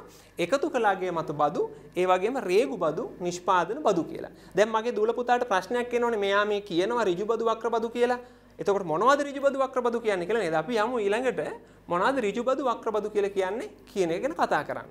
දැන් ඍජු බද්දක් කියලා කියන්නේ පොතේ ඕගලන්ට නිර්වචනයක් ඔන්න පේන තියෙනවා. පුද්ගලයෙකුගේ හෝ ව්‍යාපාරයක ආදායම මත හෝ වත්කම් මත අය කරන ගෙවන පුද්ගලයා විසින්ම දැරිය යුතු බදු ගෙවන පුද්ගලයාට පීඩනයක් ඇතිවන බදු ඍජු බදු නම් මේ. අපි පොඩ්ඩක් පැහැදිලි කරගමු. එතකොට මේ ඍජු බදු කියන ඒවා පුතේ ගෙවන්න ඕන යම් පුද්ගලයෙක් හෝ ආයතනයක් වෙන්න පුළුවන්. ඒ පුද්ගලයාගේ හෝ ආයතනයේ ආදායම හෝ ධනය මත තමයි මේ බද්ද අය කරන්නේ. එයා විසින්ම තමයි මේ බදු බර දරන්න ඕනේ. එතකොට මොකද්ද මේ පීඩනයක් ඇති කරනවා කියලා කියන්නේ? මගෙන් බද්දක් අය කරනකොට මමම ඒ බද්ද ගෙවනවා නම් අපි සරලව කිව්වොත් මගේ සාක්කුවේ පර්ස් එකේ තියෙන සල්ලි වලින් තමයි ওই බදු මුදල් ටික ගෙවෙන්නේ. එතකොට මට ඒක දැනෙනව නේද? පොඩි පීඩනයක් නේ. මගෙන් කොටසක් යනව නේද අනේ කියලා පොඩි හැඟීමක් අපිට එනවා. ඒ පීඩනේ ඒ හැඟීම එන්නේ ඍජු බදු වලදී. තේරුණාද? එතකොට පුතේ වක්‍ර බදු කියලා කිව්වහම භාණ්ඩ හා සේවා මත අය කරන බදු බර වෙනත් පාර්ශවයකට විතැන් කරන්න වෙන කෙනෙකුට පවරන්න පුළුවන්. ගෙවන පුද්ගලයාට පීඩනයක් ඇති නොවන ආකාරයේ බදු වක්‍ර බදු නම් වේ. එතකොට බදු අය කරනවා තමයි පුතේ. බදු අය කරාට ඒ පාරිභෝගිකයාගෙන් අය කරන බද්ද පාරිභෝගිකයාට ඍජුවේ දැනෙන්නේ නැහැ අනේ මෙන්න අපි බදු ගෙවනවා කියලා. හැබැයි ව්‍යාපාරිකයා ඒක ඍජුවේ ගෙවන්නේත් නැහැ. නමුත් රජය ඒ බදු අය කරගන්න ව්‍යාපාරිකයාගෙන්. තේරුණාද? පිටුම් දැන් රජය වැට් බද්ද කියලා හිතන්නකෝ එකතු කළාගේ මත බද්ද. ඒ එකතු කළාගේ මත බදු රජය අය කරගන්න ව්‍යාපාරිකයාගෙන්. ව්‍යාපාරිකයා මොකද කරන්නේ? ඒ බදු ප්‍රමාණය භාණ්ඩයේ මිලත් එක්ක එකතු කරලා පාරිභෝගිකයාට පවරනවා. නේද? ඒක තමයි කියන්නේ පාරිභෝගිකයාට විතැන් කරනවා. වෙනත් පාර්ශවයකට විතැන් කරන්න පුළුවන්. එහෙනම් ව්‍යාපාරිකයා මේක ගෙව්වට එයාට ලොකු පීඩනයක් මේකෙන් දැනෙන්නේ නැහැ. මොකද එයා ව්‍යාපාරිකයා ගෙවන බද්ද පාරිභෝගිකයාගෙන් අය කරලා තමයි ගෙවන්නේ. ඒ නිසා තමයි කියන්නේ ගෙවන පුද්ගලයාට පීඩනයක් ඇති නොවන ආකාරයේ බදු කියලා. එහෙනම් ඔනදුවේ පුතේ අපි දැන් බදු ගැන කතා කරා. මොනවද බදු කියන්නේ කියලා කතා කරා. ඒ බදු කොහොමද මොන වගේ බදුද තියෙන්නේ? කියන එක ගැන කතා කරා. එතෙන්දී අපි කතා කරේ ඍජු බදු සහ වක්‍ර බදු ගැන. අපි උදාහරණ කලින් කතා කරා. අපි දැන් පැහැදිලි කරගත්තා ඍජු බදු කියලා කියන්නේ මොනවද? වක්‍ර බදු කියලා කියන්නේ මොනවද කියලා. ඊගාවට පුතේ තව වර්ගීකරණයක් තියෙනවා. මෙන්න මේකත් දරුවෝ පටලවා ගන්න. ඒ නිසා මම හිතුවා මේකත් අද පොඩ්ඩක් පැහැදිලි කරලා දෙන්න ඕනි කියලා. බදු පදනම හා බදු ප්‍රතිශතය අනුව බදු වර්ග. අපි බලමු එක අනුක්‍රමික බදු. උදාහරණයක් දීලා තියෙනවා ආදායම් බදු කියලා. හැබැයි දුවේ පුතේ ඔන්න ඔයාලා හොඳට තේරුම් ගන්න ඕනි දෙයක් තමයි මේ අනුක්‍රමික බදු ප්‍රතික්‍රමික බදු සමානුපාතික බදු කියලා තමයි බදු වර්ග කරන්නේ. මේ බලන්න පුතේ බදු පදනම හා බදු ප්‍රතිශතය. එහෙනම් අපි බලන්න ඕනේ අපි බදු පදනම වශයෙන් ගන්නෙ මොකද්ද? ඒ කියන්නේ මොනවා පදනම් කරගෙනද මේ බදු අය කරන්නේ? ඒ වගේම ඒ අය කරන බද්දේ ප්‍රතිශතය කොයි වගේද? තේරුණා නේද? බදු ආදායමත් බදු ප්‍රතිශතයක්. එතකොට බදු පදනම වශයෙන් අපි ගත්තොත් ආදායම් බදු හොඳට මතක තියාගන්න. ආදායම් බදු අය කරන්නේ ආදායම මත. එනිසා මම පුද්ගලයෙකුගේ ආදායම අනුව ගත්තොත් එහෙනම් මොකද්ද බදු පදනම වෙන්නේ? පුද්ගලයෙක් ලබන ආදායම. ඒ පුද්ගලයාගේ ආදායම අනුව ගත්තොත් ආදායම් බදු කියලා කියන්නේ අපි දන්නවා මුලදී ආදායම වැඩි වෙන්න වැඩි වෙන්න නේද? ටිකෙන් ටික අය කරන බදු ප්‍රතිශතය 100න් 4න් 4 4න් 4 වැඩි වේගෙන යනවා. එහෙනම් එකම දිශාවට මේ විචල්යන් දෙකම එකම දිශාවට ගමන් කරන ආකාරයේ බදු නේද? බදු ප්‍රතිශතයත් වැඩි වෙනවා බදු ආදායමත් වැඩි වෙනවා. ඒ වගේ බදු වලට අපි කියනවා අනුක්‍රමික බදු කියලා. ඒකයි එතකොට ආදායම් බද්ද උදාහරණයක් වෙන්නේ. එහෙනම් ඊළඟට තියෙනවා පොතේ ප්‍රතික්‍රමික බදු අරගේ අනිත් පැත්ත. එහෙනම් මොකද්ද සම්බන්ධය විචල්්‍ය දෙක අතර පරස්පර සම්බන්ධයක්. එකක් වැඩි වෙනකොට එකක් අඩු වෙනවා. ප්‍රතික්‍රමිකයි. එතකොට ඒකට මම උදාහරණයක් දාලා තියෙන්නේ එකතු කලාගේ මත බදු කියලා. ඔන්න දැන් අපේ දරුවෝ පටලවා ගන්නවා එකතු කලාගේ මත බදු අය කරන්නේ භාණ්ඩයෙන් මිලෙන් කියලා. මම පැහැදිලිව කිව්වා අපි බදු පදනම විදියට සාකච්ඡා කරන්න නැත්නම් බදු පදනම විදියට සලකන්නේ පුද්ගලයෙක්ගේ ආදායම කියලා. එතකොට හිතන්න පුතේ කවුරු හරි කෙනෙක් රුපියල් 1000ක ආදායමක් තියෙන කෙනෙක් රුපියල් 1000ක භාණ්ඩයක් මිලදී ගන්නවා.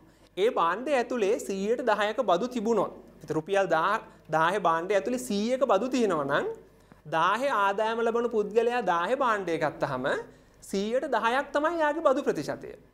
දැන් රුපියල් 2000ක ආදායමක් ලබන කෙනෙකුත් ඒ භාණ්ඩෙම මිලදී ගන්නවා.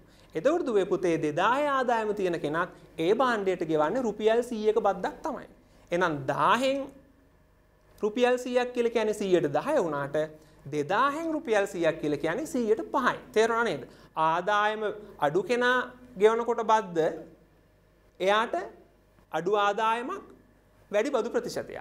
ආදායම වැඩි කෙනෙක් ඒ බද්දම ගෙවනකොට එයාගේ ආදායම වැඩි ඒ නිසා එයාගේ වන්නේ අඩු බදු ප්‍රතිශතයක්. ඒ අනුව ගත්තාම ඔන්න එකතු කළාගේ මත බද්ද හේවත් වැඩ් බද්ද අපිට කියන්න පුළුවන් ප්‍රතික්‍රමික බද්දක් කියලා. මතක තියාගන්න ඕන දේ තමයි බදු පදනමයි ප්‍රතිශතයයි අනුව තමයි මේක අනුක්‍රමිකද ප්‍රතික්‍රමිකද කියලා තීරණය වෙන්නේ.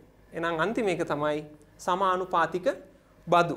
සමානුපාතික බදු කියන්නේ ආදායම නැත්තම් බදු පදනම කොච්චර වෙනස් වුණත් බදු ප්‍රතිශතය නොවෙනස්ව තියෙනවා නම් අපේ දූල පුතාලා දන්නවා ආදායම් බද්ද 104න් 4 වැඩි වෙගෙන ගිහලා යම් සීමාවකින් පස්සේ 124ට එනවා. ඒ 124න් පස්සේ කොච්චර වැඩි වුණත් ආදායම කෙනෙක්ගේ ආදායම මෙතනින් එහාට කොච්චර වැඩි වුණත් එයාගෙන් ගන්න බදු ප්‍රතිශතය වෙන්නේ 124 විතරයි. අන්න එහෙනම් ඒක අපිට කතා කරන්න පුළුවන් උපරිම සීමාව වෙන්නේ ආදායම් බද්ද සමානුපාතික බදු කියලා. එහෙනම් පුතේ අපි ඔන්න බදු පදනම් දෙකක් කතා කරා.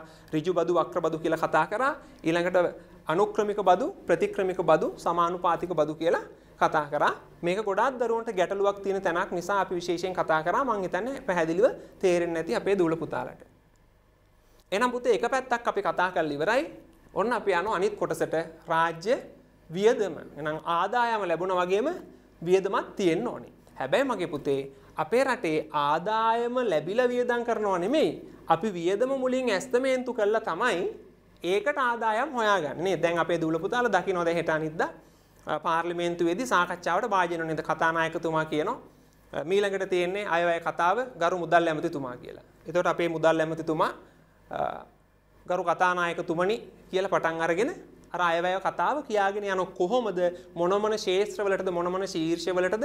වියදම් දරන්න ලෑස්ති වෙලා ඉන්නේ. ඒ වියදම් දරන්න අවශ්‍ය ආදායම අපි කොහොමද රැස් කරගන්නේ කියලා. හැබැයි ඉතින් අපේ රටේ නම් ආදායමට වඩා වියදම ආදායමට වඩා වියදම මොකද වෙලා තියෙන්නේ? ආදායම අඩුයි වියදම වැඩි. ඒ නිසා අර අතිරේක කොටස පියව ගන්න අපි මොකද කරන්නේ? ණය ලබා ගන්නවා. එහෙනම් මෙන්න මේ රාජ්‍ය වියදම වර්ග කරනවා පුතේ අපි කොටස් දෙකකට වර්තන වියදමයි ප්‍රාග්ධන වියදමයි කියලා. ඒක දැන් ඔයාලගේ gedara තාත්තගේ ආදායම ගැන හිතන්නකෝ. තාත්තා ගන්න ආදායමෙන් යම් කොටසක් වියදම් කරනවා. ඒ වියදම් කරනකොට තාත්තා වියදම් කරන්නේ දැන් අම්මා කියනවා හවසට සීනි ගේන්න, හාල් ගේන්න, පොල් ගේන්න නේද? ඊට පස්සේ ලුණු ඉවරයි, කිරිපිටි පැකට් එක ඉවරයි, දරුවට ඉස්කෝලේ යන්න සල්ලි ඕන, පොත් ටික ඉවර වෙලා ඔන්න ඔය ටිකට තාත්තා මාසෙ පඩියෙන් ගාණක් දෙනවා. ඊට පස්සේ අම්මා මොකද කියන්නේ? අපි තමයි හැමදාම මේ කබල් පුට් සයිකලේ යන්නේ මේ මෝටර් බයිසිකලේ යන්නේ. බලන්න අර මිනිස්සු කොච්චර හොඳ කාර් එකක යනවද මං ඔයාට හැමදාම කියනවා ගෙයක් හදමු කියලා ඉඩමක් ගමු කියලා. කෝ කොච්චර කිව්වත් අහන්නේ නැහනේ කියලා. අම්මා පටන් ගත්තාම තාත්තර මොකද කරන්න වෙන්නේ? අර ආදායමෙන් කොටසක් ඒවටත් වෙන් කරන්න යනවා එහෙනම් ඕගොල්ලන්ගේ තාත්තා හැමදාම හැම මාසෙම දරන වියදනුත් තියෙනවා. එහෙම නැතුව කාලෙකට විතරක් දරන සමහර වෙලාවට ජීවිත කාලෙට එකපාරක් දරන වියදනුත් තියෙනවා. රජයකුත් එහෙමයි පුතේ. නේද? රජයේ දැන් අපි ජනතාව වශයෙන් අපේ තාත්තා රජයේනේ. එතකොට රජයේ අපි වෙනුවෙන් දරන වියදම් කොටස් දෙකකට බෙදනවා වර්තන වියදමයි ප්‍රාග්ධන වියදමයි කියලා. එහෙනම් වර්තන වියදම කියලා කියන්නේ පුතේ අර තාත්තා එදිනෙදා ගෙදර වියදම් දරන්න වගේ රජයේ තියෙන කටයුතු ඒ විදිහටම පවත්වාගෙන යන රජයක් දරන වියදම් වලට අපි කියනවා වර්තන වියදම් කියලා. ඊට පස්සේ ප්‍රාග්ධන වියදම කියලා කියන්නේ දීර්ඝකාලීන ප්‍රතිලාභ අපේක්ෂාවෙන් රජයක් යම් යම් ව්‍යාපෘති වෙනුවෙන් දරනු ලබන වියදම. ඔන්න අපි වර්තන වියදම ගැන කතා කරනවා රාජ්‍ය සේවා අඛණ්ඩව පවත්වා ගැනීම සඳහා වසරක් තුල නැවත නැවත ආපහු දරන්න වෙනවා. දැරිය යුතු වියදම් ය. මේවා පුනරාවර්තන පුනර් ආවර්තන නැවත දරන්න ඕනේ. පුනරාවර්තන වියදම් ලෙසද හැඳින්වේ. එහෙනම් ඔන්න පුතේ ඒවට උදාහරණ කීපයක් දීලා තියෙනවා වැටුප් හා වේතන නේ. දැන් අපි රාජ්‍යයේ ගුරුවරු විදියට අපිට හැම මාසෙම වැටුපක් ගෙවනවා. රාජ්‍ය සේවකයන්ට වැටුප් හා වේතන රජය ගෙවනවා. ඒ වගේ මං කිව්වා ආදායමට වඩා වියදම වැඩි නිසා ණය ගන්න ඕනේ කියලා. නිකන් ණය දෙන්නේ නැහැ නේ අපිට ඒ ණය වලට අපි පොලියක් ගෙවන්න ඕනේ. අන්නේ පොලී ගෙවීම තියෙනවා. ඊළ ඊට අමතරව අපි මං කලින් කතා කරා අර ආදායම් නැති අයට අඩු අයට විවිධ සහන ආධාර විවිධ ක්‍රමවේද වලින් ඒගොල්ලන්ට සහනයක් සලසන්න ඕනේ කියලා. ආන්නේ විදිහට කුටුම්බ අංශයේ වෙත කරන වෙනත් පැවරුම් තියෙනවා. අපි බලමු දැන් කොහොමද මේ වර්තන වියදම සකස් වෙලා තියෙන්නේ කියලා. ඊට කලින් අපි ප්‍රාග්ධන වියදම කියන එකත් පොඩ්ඩක් කතා කරලිමු පුතේ. ප්‍රාග්ධන වියදම කියලා කියන්නේ රජයක් විසින් දිගු කාලීන ආයෝජන සඳහා දරන වියදම් ප්‍රාග්ධන වියදම් නම් මේ දීර්ඝ කාලීන ආයෝජන සඳහා නේද මහා මාර්ග ඉදිකිරීම, අධිවේගී මාර්ග, දුම්රිය මාර්ග, ඊළඟට පාලම් ඉදිකිරීම, ඔන්න ඔය වගේ විශාල මහා පරිමාණ දිගු කාලීන ව්‍යාපෘති වලට දරන වියදම් වලට අපි කියන්නේ ප්‍රාග්ධන වියදම කියලා. හරි පුතේ. ඔන්න තියෙනවා අපේ රටේ වර්තන වියදම කොහොමද හැදිලා තියෙන්නේ කියලා නේද? අපිට හරි කනගාටුයි. බලන්න අපේ රටේ වර්තන වියදමෙන් වැඩිම කොටසක් 139ක්. හරිද? 139ක් තියෙන්නේ අපේ දූල පුතාලට පේනවා පොලී ගෙවීම. එහෙනම් ගණිපු ණයවලට පොලී ගෙවන එක තමයි අපි වැඩිපුරම කරලා තියෙන්නේ. ඊළඟට වැටුප් හා වේතන 130යි. වැටුප් රාජ්‍ය සේවකයන්ට වැටුප් හා වේතන ගෙවන්න තමයි 130ක් වෙන් වෙලා තියෙන්නේ. එහෙනම් දුවේ පුතේ බලන්න අපි කොච්චර කනගාටු වෙන්න ඕනද අපේ තියෙන මුළු වියදමෙන් අපි තුනෙන් එකකටත් වැඩිය කරන්නේ ණයට අරගෙන ණයවලට පොලී ගෙවන එක තමයි වැඩිපුර කරලා තියෙන්නේ. ඊට පස්සේ ඊට අමතරව තියෙනවා කුටුම්බ අංශය වෙත පැවරුම් 118යි රාජ්‍ය සංස්ථා වෙත පැවරුම් 104යි අනෙකුත් භාණ්ඩ හා සේවා සඳහා 109යි කියලා. ඉතින් දුවේ පුතේ ඕගොල්ලෝ විභාගයේදී ඔයාගෙන් අහන්න පුළුවන් මේ වර්තන වියදමෙන් වැඩිම වියදමක් තියෙන අපේ දූල පුතාලා දන්නවා 31 ඉඳලා 40 වෙනකන් තියෙන හිස් තැන් පුරවන ප්‍රශ්න. ඒවයි අහන්න පුළුවන් මේකෙන් වැඩිම ප්‍රමාණයක් දරලා තියෙන්නේ මොන ආකාරයේ වියදම් වලටද කියලා. එහෙනම් දූල පුතාලා දන්නවා පොලී ගෙවීම් වලට තමයි වැඩිම දායකත්වයක් දක්වලා තියෙන්නේ. හැබැයි දුවේ පුතේ මේවා අවුරුද්දෙන් අවුරුද්දට වෙනස් වෙනවා. ඒකට ඔයාලා මහ බැංකු වාර්තාව පරිශීලනය කරන්න ඕනේ. දැන් අපේ දරුවන්ට ඉස්කෝලේ පුස්තකාලෙත් මහ බැංකු වාර්තාව තියෙනවා. නැත්නම් තාක්ෂණය භාවිතා කරලා අන්තර්ජාලය ඔස්සේ මහ බැංකුවේ වෙබ්සයිට් එකට ගිහිල්ලා ඔයාලට පුළුවන් මේ තොරතුරු ලබා ගන්න. ඊළඟට පුතේ මේ රජය ව්‍යාපාරත් එක්ක කටයුතු කරගෙන යනකොට ව්‍යාපාර වලින් දේවල් ලබා ගන්නවා වගේම ව්‍යාපාර වලටත් මොනවා හරි සහන ටිකක් දෙන්න ඕනේ. අන්නේ දෙන සහන තමයි මේ තියෙන්නේ නේද? බදු පහසුකම් දෙන්න ඕනේ, බදු දිරිගැන්වීම් දෙන්න ඕනේ, මූල්‍ය පහසුකම් සපයන්න ඕනේ නේද? ණය ගන්න අවස්ථාව දෙන්න ඕනේ. ඒවට අය කරන පොලිය පුළුවන් නම් අඩු කරලා දෙන්න ඕනේ. ඒවා තමයි මූල්‍ය පහසුකම්. ඊට පස්සේ විදේශ විනිමය පහසුකම්. විදේශ රටවල් එක්ක ගනුදෙනු කරනවා නම් ආනයන අපනයන කටයුතු වලට ඒ වගේ පහසුකම් සපයන්න ඕනේ. ඒ වගේම තමයි ව්‍යාපාරිකයන්ට ව්‍යාපාර කටයුතු පවත්වාගෙන යන විවිධ ආයතන වලින් අපි කාර්මික සංවර්ධන මණ්ඩලය නේද? ජාතික ව්‍යාපාර මධ්‍යස්ථානය මෝස්තර මධ්‍යස්ථාන ඒ වගේ ප්‍රමිති ආයතන ඒ වගේ විවිධ ආයතන වලින් විවිධ පහසුකම් ලබා දෙනවා. ඊට පස්සේ අපි කලින් කතා කරා යටිතල පහසුකම්. මෙන්න මේ වගේ පහසුකම් වලින් තමයි රජය ව්‍යාපාරවලට උදව් කරන්නේ. දැන් අර අපි කලින් කතා කරා පුතේ බදු දිරිගැන්වීම් ලබා දෙනවා කියලා බදු පහසුකම් ලබා දෙනවා කියලා. ඒ බදු පහසුකම් බදු දිරිගැන්වීම් ලබා දෙන ආකාර කීපයක් තියෙනවා. එකක් තමයි පුතේ බදු සහන. සහනයක් දෙනවා කියලා කියන්නේ පොඩි උදව්වක් කරනවා වගේ හැඟීමක් නේද? එහෙනම් රජය මොකද්ද බදු සහනයක් දෙනවා කියලා කියන්නේ ගෙවන්න ඕන බදු ප්‍රමාණය පොඩ්ඩක් අඩු කරලා දෙනවා. අපි දැක්ක පහුගිය කාලේ යම් යම් බදු එහෙම අඩු කිරීම කරා. එහෙනම් බදු ගෙවන්න ඕන ප්‍රමාණය අඩු කරනවා නම් ඒකට කියනවා බදු සහනයක් කියලා. ඔන්න පුතේ ඊළඟ එක තියෙනවා බදු විරාම. මොනවාද බදු විරාමයක් කියලා කියන්නේ? යම් කාල සීමාවක් තුල බදු අය කරන එක නතර කරලා තියෙනවා නේද? අපි දකිනවා රූපවාහිනී දැන්වීම් වලත් වැඩසටහනක් යනකොට අර වෙළඳ දැන්වීම යන්න කලින් කියනවා මද විරාමයක් කියලා නේද? ඊට පස්සේ විරාමයේ යන කාලයේදී වැඩසටහන නැහැ. ආපහු ටිකක් වෙලා ගිහලා විරාමයකින් පසු යලිත් කියලා තමයි පටන් ගන්නෙ. එහෙනම් ඔන්න රජය යොදා ගන්න පොඩි උපක්‍රමයක් තියෙනවා මේ බදු ගෙවන්න නැති අයව බදු ව්‍යුහයට එකතු කරගන්න. මොකද්ද මේ උපක්‍රමය? ඔය වගේ විරාමයක් දෙනවා මෙන්න මේ කාල සීමාවේදී අපි ඔයාලගෙන් බදු අය කරන්නේ නැහැ කියලා කියනවා. ඒ කාලයේදී ව්‍යාපාරිකයන්ට පුළුවන් කැමතිනම් බදු ව්‍යුහයට එකතු වෙලා රජයට සහයෝගයක් දෙන්න. එහෙනම් ඒ කාලය ඇතුළතදී බදු අය කරන්නේ නැහැ. ඒකට කියනවා බදු විරාම කියලා. ඊළඟ එක තමයි මගේ පුතේ බදු ප්‍රතිදාන. හරිද? දැන් අපේ දරුවෝ දන්නවා ප්‍රති කියන්නේ නැවත දාන කියන්නේ දෙනවා. එහෙනම් බදු ප්‍රතිදාන කියන්නේ එක වතාවකදී අය කරගන්න බද්දක් නැවත වතාවකදී ආපහු ඒ අය කරපු පාර්ශ්වයටම ලබා දෙනවා. මම ඒක උදාහරණකින් පැහැදිලි කරන්නම්. විදේශීය රටවල් වලින් අමුද්‍රව්‍ය ගෙන්නලා අපේ රටේ භාණ්ඩ නිෂ්පාදනය කරලා අපනයනය කරන ව්‍යාපාර තියෙනවනේ පුතේ. උදාහරණයක් විදිහට අපි ඇඟලුම්නේ විශාල වශයෙන් අපනයනය කරන්නේ. එතකොට ඇඟලුම් නිෂ්පාදනය කරන්න අවශ්‍ය රෙදිපිලි අපි විදේශීය රටවල් වලින් ගෙන්නනවා. එතකොට ඒ යෙදවුම් මත බදු අය කරනවා. රෙදි ටික ගෙනල්ලා මේදී මහලා ඇඳුමක් හදලා ඒ හදපු ඇඳුම අපනයනය කරනවා. ඒ අපනයනය කරන ඇඳුමේ වටිනාකමටත් පුතේ ඔන්න බද්දක් අය කරනවානේ. එහෙනම් ඇඳුමේ වටිනාකමට අය කරන බද්දෙන් අර ඒ ඇඳුම මහන්න ගෙන ආපු යෙදවුම් වල වෙනුවෙන් අය කරපු බදු ප්‍රමාණය අඩු කරලා තමයි ඇඳුමට බද්ද අය කරන්නේ. ඔන්න ඕක තමයි අපි බදු ප්‍රතිදාන කියලා කියන්නේ. එහෙනම් බදු සහන බදු දිරිගැන්වීම දෙන්න පුළුවන් අවසාන අවස්ථාව බදු නිදහස් කිරීම නේද? ඕනෙම නෑ ඔයාගෙන් බදු කියලා ගෙවන්න මෙපා කියලා අත්හැරලා දානවා. ඒකට කියනවා බදු නිදහස් කිරීම කියලා. එහෙනම් දුවේ පුතේ බදු පහසුකම් බදු දිරිගැන්වීම් දෙන ආකාර හතරක් ගැන අපි සාකච්ඡා කරා. ඊළඟ පුතේ බදු මේ දිරිගැන්වීම් දෙන්න ඇයි මෙහෙම සහන දෙන්නේ ඇයි ව්‍යාපාරිකයට මෙහෙම උදව් කරන්නේ බදු වශයෙන් කියන එකට බදු දිරිගැන්වීමේ අරමුණු ගැන අපි පොඩ්ඩක් කතා කරන්න ඕනේ. අපි බලමු මොනවාද අරමුණු කියලා. එකක් තමයි දේශීය ආයෝජන දිරිගන්වන්න. දේශීය ව්‍යාපාරිකයන්ට ව්‍යාපාර කරන්න උනන්දුවක් ඇති වෙනවා අර බදු සහනයක් දුන්නාම. ඒ වගේම තමයි රැකියා අවස්ථා බිහි කිරීම. එනම් ව්‍යාපාරිකයෝ ව්‍යාපාර පටන් ගන්න උත්සාහ කරනකොට වැඩියෙන් ව්‍යාපාර ආරම්භ වෙනකොට රටේ රැකියා අවස්ථා බිහි කිරීම පහසු වෙනවා. ඊගාවට පුතේ දේශීය ව්‍යාපාරිකයෝ විතරක් නෙමෙයි අපේ රටේ විදේශීය රටවලනුත් ඇවිල්ලා ව්‍යාපාර කටයුතු පවත්වාගෙන යනවා. එහෙනම් ඒ විදේශී රටවල ව්‍යාපාරිකයෝ ඒගොල්ලන්ගේ රටේ ව්‍යාපාර නොකර අපේ රටට එන්න හේතුවක් තියෙන්න බෑ. ඒ එක හේතුවක් තමයි අපේ රටේ බදු දිරිගැන්වීම දීලා තියෙන එක. එහෙනම් ඔන්න විදේශ ආයෝජන රට තුලට ගෙන්න ගන්න පුළුවන්. එහෙනම් ඔන්න අපි කතා කරේ ෆිස්කල් ප්‍රතිපත්තිය කොහොමද ෆිස්කල් ප්‍රතිපත්තිය ව්‍යාපාරවලට බලපෑම් කරන්න කියලා ඔන්න පැහැදිලි කරලා තියෙනවා. ආනයන මත බද්දක් අය කරොත් එහෙම ආනයනික භාණ්ඩවල මිල ඉහළ යන්න පුළුවන්. හැබැයි ඒ වර්ගයේම භාණ්ඩයක් දේශීයවත් නිෂ්පාදනය වෙනවා නම් අර ආනයන වලට බදු අය කරාම දේශීය ව්‍යාපාරිකයෝ දිරිමත් වෙන්න පුළුවන් නේද? ව්‍යාපාර දෙකකට බලපෑම් දෙකක්. ආනයනික ව්‍යාපාරිකයන්ට අවාසි දේශීය ව්‍යාපාරිකයන්ට වාසි.